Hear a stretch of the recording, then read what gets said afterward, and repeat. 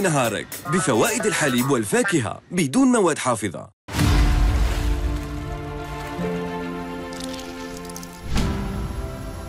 يقدم لكم هذا البرنامج برعاية رامي بالتأكيد نعم ولو نعلم كلنا أن الكرة العربية أول مرة توصل نعم. إلى هذا الدور ومن المستحيل يعني الوصول إليه حتى في المستقبل لأن الفريق المغربي قدم أداء آه، يشرف الكرة العربية ويشرف الكرة الإسلامية فتحية لكل من شارك في هذا الإنجاز. وكذلك شكرا للكرة العربية التي رفعت رأسها إلى السماء ورفعت دولة قطر المنظمة خاصة وأن كانت هناك انتقادات كثيرة حول هذا المونديال إلا أن الكرة العربية موجودة حتى في الميدان وتمكن الفريق المغربي بالفوز بجدارة نعم. واستحقاق رغم الصعوبات التي مر فيها في هذه المباراة. نعم. رضوان المنتخب المغربي لعب حسب إمكانياته. المدرب الركراكي قال آه لماذا هذه الانتقادات؟ نحن وصلنا إلى الدور نصف آه النهائي. البرتغال لديها إمكانيات كبيرة تستطيع أن تصنع أن تبني اللعب أن تهاجم أن تخلق فرص. قال نحن المغرب لعبنا حسب إمكانياتنا ننتظر المنافس طبعا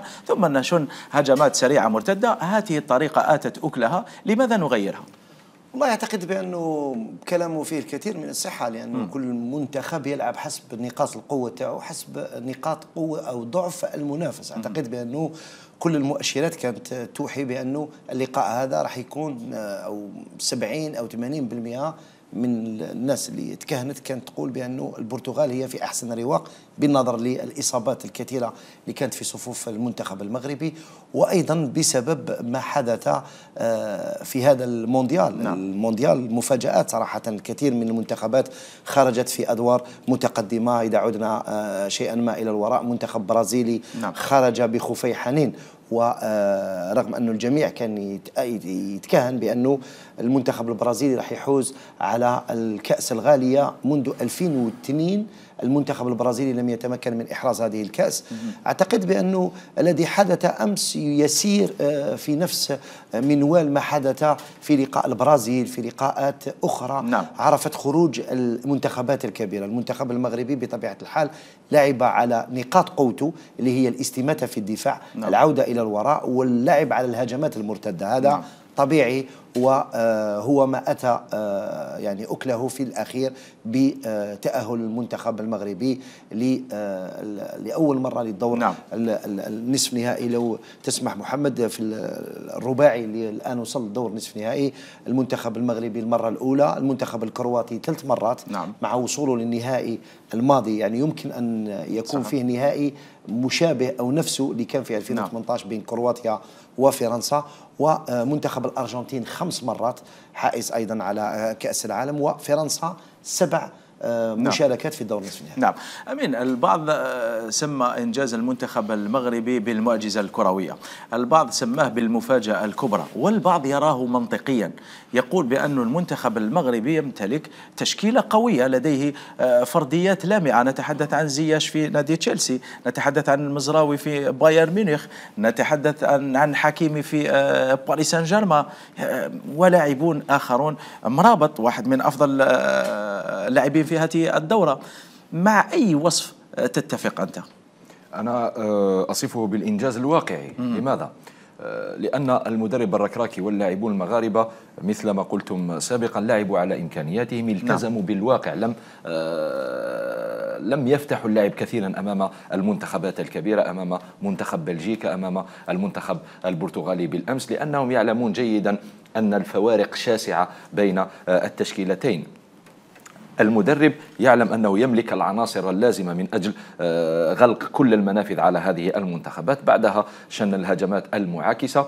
المهم أننا تخلصنا نهائيا إن شاء الله من العقدة التي كانت تميز المنتخبات العربية والإفريقية أيضا أمام المنتخبات الكبيرة المغرب حل هذه العقدة.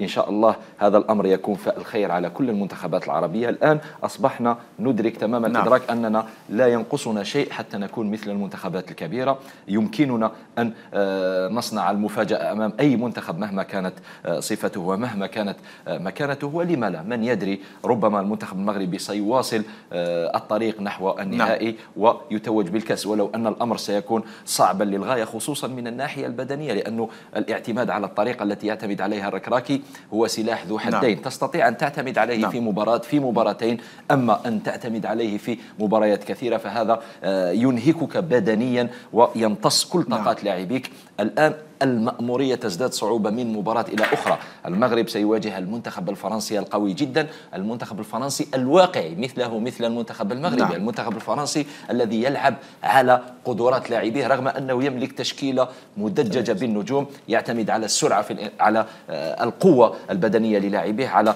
الصلابة في ال bloc ثم الانطلاق في الهجمات المعاكسة بالاعتماد على سرعة كل من ديمبيلي جريزمان ومبابي. نعم. ما هو سر وصول المغرب إلى الدور آه، نصف النهائي؟ هل آه، تعتقد بأن هناك أسباب آه، خفية أم أن الأمر آه، واضح وأمر كان مخطط له والجميع كان ينتظر هذا في المغرب؟ أعتقد الواقعية كانت أهم شيء في هذا في هذا الأداء المغربي أعتقد أن المغرب لعب مباراة بمباراة وكان يتقدم باشر المنافسة بتعادل مع كرواتيا. ثم مع الوقت وعلى الإمكانيات خاصة أن هذا الفريق لديه مجموعة متجانسة. وأعتقد أن الرقراقي لديه يعني أثر على هذا الفريق حيث تمكن ما لم يتمكن فيه آه، آلي لوزيج من استرجاع اللاعبين المميزين على غرار زياش حكيمي وكذلك مزراوي وحتى آه، حمد الله الذي موجود في الدكة لكن موجود مع الفريق. ممكن أن يعطي الإضافة لهذا الفريق. أعتقد أن الفريق لعب على إمكانياته وقدراته. لديه قدرات دفاعية آه، هائلة خاصة وأنه يعتبر الفريق المغربي هو أقوى دفاع حاليا نعم. بتلقي هدف وحيد. فأعتقد أن المنتخب المغربي سيستمر في هذه لأن هذه نقطة تعفو. لكن لديه نقاط أخرى قوية لأن لديه بعض اللاعبين ذوي المهارة العالية نعم. على غرار أناحي على غرار زياش وممكن في أي لحظة يسجل لك أهداف. فالفريق المغربي يلعب بطريقته كمجموعة مجموعة كبلوك وانتظارا لبعض الأخطاء المنافس وأي فرصة تتاح يسجل منها أهداف. نعم. وهذه أعتقد طريقة آه، هي الأمثل للفريق نعم. المغربي حاليا. سؤال واحد وأريد إجابة واحدة فقط من الضيوف الثلاثة. من هو أفضل عنصر في كتيبة المغرب لحد الآن؟ المدرب الركراكي متوسط الميدان مرابط أم الحارس بونو؟ إجابة واحدة رضوان ثم أعود إليكم. والله أنا إجابتي هي المجموعة. مجموعة. أعتقد بأنه المجموعة. الركراكي. الركراكي. بونو.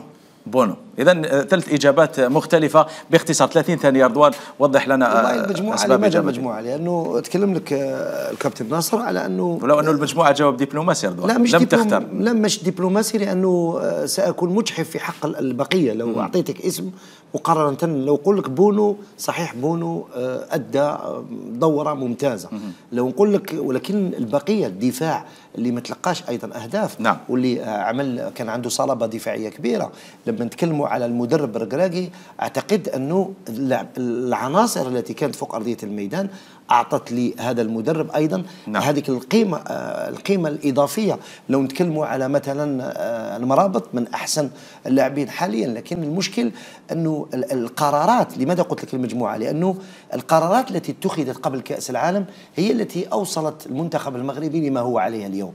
لا تنسى بأنه الكثير انتقد خيار ذهاب حاليلوزيتش الذي آه، تأهل مع المجموعة هذه إلى كأس العالم لكن لما كانت فيه قرارات ردعية ولا رجعة فيها جعلت بتعيين نعم. مدرب أعطى هذه الروح وأعاد حمد الله أعاد الزياش أعاد الكثير من الأسماء اللي تصنع اليوم نعم. هذا الإنجاز أتعس إنسان على وجه الكرة الأرضية الآن هو واحد غالي لوزيتش الذي يرى المنتخب المغربي في النصف النهائي هو الذي أهل المغرب آه، وكان يمني النفس بالمشاركة لكن لو حضر في هذه في هذه الكأس كان آه، سوف لن يلعب بهذه العناصر التي ربما ستقصى في الدور الأول نعم. علاش قلت لك هنا المجموعه نعم. القرارات التي اتخذت قرارات جريئة هنا يقدر يكون الإسقاط على منتخبنا الوطني الجزائري وين تكلمنا الكثير تكلم على تجديد المنتخب نعم. وهذا ربما كان يقدر يعطينا آه، دفعة وشحنة إضافية من أجل الذهاب بعيدا نعم. أنا لست, لست هنا من أجل المقارنة ولكن الناس كثير تتكلم على المنتخب الوطني لو تأهل منتخبنا الوطني لو تأهل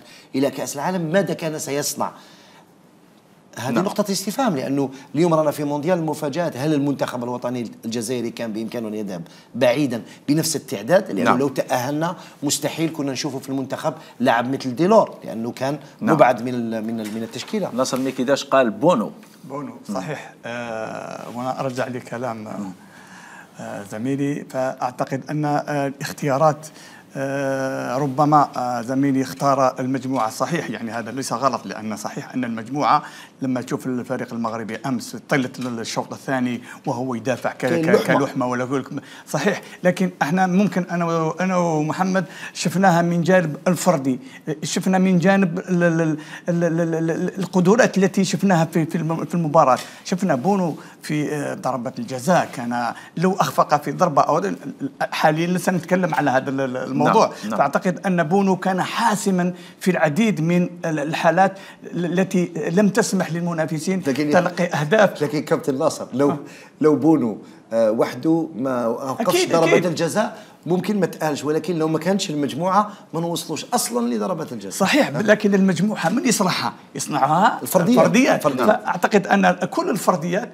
فيهم من يعني تألق بشكل كبير من بينهم بونو وكما كان قال زميلي نعم. المنابط ممكن نعم. هو ي- لا هو قال الركراكي. قال الركراكي، الركراكي نعم. لأن نعم. الركراكي أكيد هو كذلك سامحني دخلت في موضوع لأن الركراكي صحيح هو المسؤول هو اللي يختار لعيبة هو اللي أخذ القرارات لأن النجوم النجوم موجودين مثلا في البرازيل بنيمار وفينيسيوس ولكن لما ما يكونش ما تكونش المجموعة صحيح. آه، قائمة وما يكونش وراءهم إحنا مشكلتنا انه لازم نامنوا بالناس اللي راهم يقودونا. لما تآمن بواحد اللي راه يقودك خلاص. وهذه نقطة إيجابية للرقراقي الذي تمكن من تكوين لحمة. نعم. وشفنا يعني التواصل وال وال والتقارب. مع نعم. اللاعبين والفرحة وحتى مع الجماهير. نعم. أمين. الرقراقي وليس الركراكي لأنه البعض يناديه بالركراكي. أنا سألت صحفي مغربي قال لي اسمه الرقراقي وليد الرقراقي. وليد الرقراقي تفضل أمين. إن شاء الله الرفرافي المهم يوصلك نهائي كأس العالم. إحنا الاسم لا يهم. كل التحية لهذا المدرب. أنا لماذا اخترت المدرب؟ اولا باعتباره مدربا شابا لا يملك الكثير من الخبرة. درب هنا في قطر أخذ آه، اللقب مع نادي الدحيل درب في المغرب أخذ لقبين أيضا على ما أعتقد. لذلك أينما حل وارتحل إلا وأخذ القابا. يشبه كثيرا آه، جمال بالماضي. حتى في مسيرته من الأندية نحو المنتخب هناك تشابه كبير بينه وبين الناخب الوطني جمال بالماضي. الأمر الثاني هو آه، كالتالي تشكيلة البرازيل وتشكيلة بلجيكا تشكيلة آه، إسبانيا تشكيلة البرتغال. لماذا؟ آه هذه التشكيلات تملك الكثير من آه الثراء في آه التعداد ولكن تخرج بخفي حنين مثل ما قال أبو حنيكه لأن المدربين لم يعرفوا كيف يتعاملوا مع هذا الثراء. مثلا بالأمس مباراة المنتخب البرتغالي. أنا دائما قلتها قلت تشكيلة رائعة بدون مدرب. صراحة لا يقنعني بتاتا آه، مدرب المنتخب البرتغالي. بالأمس شاهدنا طريقة تعامله مع المباراة. آه، رضخ للضغط الإعلامي والجماهيري وأعاد كريستيانو رونالدو إلى الدكة وأقحم غونثالو راموس الذي آه، لا يملك الكثير من الخبرة. صحيح أنه سجل ثلاثية. هذه الثلاثية كانت أمام سويسرا نعم. في مباراة فاز بها المنتخب بسداسية كاملة. شاهدنا كيف أعطى كريستيانو رونالدو الكثير من آه، النفس وكثير من الدفع للقاطرة الهجومية للمنتخب البرتغالي ضيع فرصة آه، لم يضيع وبونو كان متألقا في تلك اللقطة. قدم كرة على طبق لزميله جواو فيليش آه، وبونو أيضا كان في آه، الموعد. لذلك المدرب هو الذي يتحمل المسؤولية الأكبر الركراكي هو الذي يتحمل المسؤولية الأكبر لأنه في ظرف نعم. وجيز ظرف شهرين أو ثلاثة أشهر أتى إلى مجموعة كانت تقريبا مفككة آه، بفعل آه، وحيد حليلوزيتش الذي ربما ترك آه، نرجسيته تطغى على حساب آمال وأحلام الجماهير نعم. المغربية أتى إلى هذا على المنتخب ذكر الجماهير المغربية أمين آه، احتفلت أمس هنا في الدوحة وفي الدار البيضاء وكذلك في أوروبا وفي العديد من مناطق العالم. أعطينا بعض احتفالات الجماهير المغربية نحاول أن نعلق عليها. بعض يتحدث رضوان عن آه، أغنية لابح درياسة الشهيرة مبروك علينا. هذه البداية ومازال مازال هذه الأغنية نعم. نعم التي آه، تصدح بها آه، حناجر الجماهير المغربية هذه- منذ بداية هذه الدورة الأغنية على كل حال حتى الجماهير التونسية لما يفوز المنتخب التونسي تغني هذه هذه الأغنية. آه، فيها أغاني كثيرة جزائرية أصبحت آه، ماركة مسجلة. لدى لدى ال- الجماهير العربية لكنني أردت أن أعود إلى نقطة مهمة نعم. بما أنه آه، زميلي آه، أمين بن شابير تحدث عن ال- آه، نعم. تحدث عن مدرب المنتخب المغربي هذه نعم نعم. أغنية الجزائرية التي يتغنى بها الكثير هنا وأيضا كما قلت الجماهير العربية لكن عدت آه، لو عدنا لما قاله الركراكي. آه، أمين حول الركراكي هذا المدرب تصور في 2017 على ما أعتقد أو 2018 محمد يعني باش الواحد يكون آه، موش متأكد من آه، من ال- نعم. التاريخ. كان مدرب للفتح الرباطي. هذا المدرب تاع الفتح الرباطي وليد الركراكي تقابل مع نادي جزائري اسمه مولودية بجاية الموب. في منافسة قارية. نعم. وأقصي الفتح الرباطي أمام الموب أنذاك الموب اليوم أين هو هذا الفريق؟ نعم. مولودية بجاية أو في ال- القسم الثالث. وعلى بعد خطوات ربما يزيد يسقط للقسم الرابع. يعني تلاشى تماما. واليوم نشوف المدرب المغربي أين هو؟ نعم. يعني لما توضع ثقة في أبناء بلدك وتوضع ثقة في وتكون عندك قرارات تكون عندك اتحادية قوية تكون عندك مسؤولين اللي آه، يتخذوا قرارات جريئة من أجل إصلاح المنظومة الكروية. لهذا في كل مرة في الجزائر وخارج الجزائر نتكلموا دائما على إصلاح المنظومة الكروية باش تعطينا نحاولوا دائما أنه نجسروا شوية باش نتكلموا على نعم. نعم. بلدنا الجزائر لأنه ما زالت لحد الآن ما زالت نعم. تحرق فينا أننا ماناش متواجدين في آه، سأعود المونديال. بعد قليل رضوان للحديث عن غياب المنتخب الوطني الجزائري وكيف وجدت الأجواء هنا في الدوحة في ظل غياب الجزائر لكن بعد أن نستمع لأمين أمين خبرنا بصراحة الجميع في الجزائر يعلم بأنك متعصب لكريستيانو رونالدو ومشجع وفي لريال مدريد كيف عشت مباراة الأمس آه، يعني هل كنت هل فرحت وسعدت بتأهل المغرب؟ هل حزنت لخروج كريستيانو رونالدو؟ كنت تمني النفس بأن يرفع كأس العالم قبل بداية هذه الدورة؟ حدثنا عن هذه المشاعر المتباينة. لا لم تكن مشاعر متباينة صراحة. خلال المباراة كنت أتمنى آه، أن يفوز المغرب بهذا آه، اللقاء. ولو أنني قبل المباراة أنا دائما أستعمل المنطق في كلامي نعم. وفي توقعاتي. كنت أتوقع أنها ستكون رحلة آه، نهاية الرحلة بالنسبة للمغاربة توقعت أن آه، المنتخب البرتغالي هو الذي سيفوز هذا نعم. كان توقع المنطق نعم. ولكن آه، العاطفة والقلب كان يريدان المنتخب حزنت. لخروج رونالدو؟ حزنت